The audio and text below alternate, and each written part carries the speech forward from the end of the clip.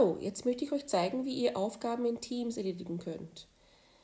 Wenn ihr am Desktop, PC, Laptop oder Tablet seid, könnt ihr sehen, es gibt eine linken, in der linken Spalte bei Teams ein Icon, das nennt sich Teams. Da könnt ihr das Team aussuchen, wie hier Klasse 4F. Und im Kanal allgemein seht ihr, es gibt die Möglichkeit, Aufgaben zu sehen. Das heißt, man wählt Aufgaben und man tippt auf die Aufgabe.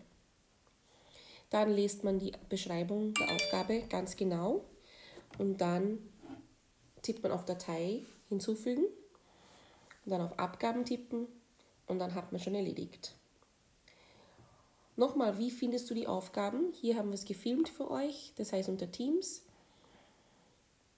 Aufgaben oder es gibt sogar unterhalb von Teams Icon gibt es auch Aufgaben. Man kann dann eine Liste bekommen von allen Aufgaben. Hier, wenn ihr im Icon Aufgaben seid, könnt ihr den Kurs wählen und dann seht ihr alle Aufgaben, die ihr zu erledigen habt oder ihr seht sogar, welche ihr bereits erledigt habt. Da könnt ihr wiederum etwas aussuchen. Wenn ihr etwas verbessern wollt, könnt ihr das dann zurücknehmen, also rückgängig machen und dann könnt ihr das dann erneut abgeben. Wie sieht es aus, wenn man etwas vom Gerät hochladen möchte?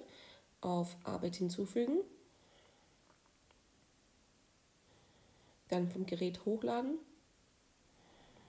Man sucht die Datei, die man hochladen möchte. Dann tippt man auf Fertig und dann kann man auf Abgeben tippen. Am Handy sieht es ähnlich aus. Ihr habt unten die Navigation, sprich unten finden wir Activity, also was los ist, was Neues gibt. Chat, das heißt, man kann hier kommunizieren mit mehreren Menschen. Man hat ein Team, eine Liste von den Teams, wo man drinnen ist. Dann hat man unter Aufgaben sieht man, okay, man kann eine Klasse wählen, welche Aufgaben man machen möchte. Und dann im Kalender sieht man, welche Termine man hat, sprich Videokonferenzen oder Meetings. Und das war's. Ich wünsche euch gutes Gelingen.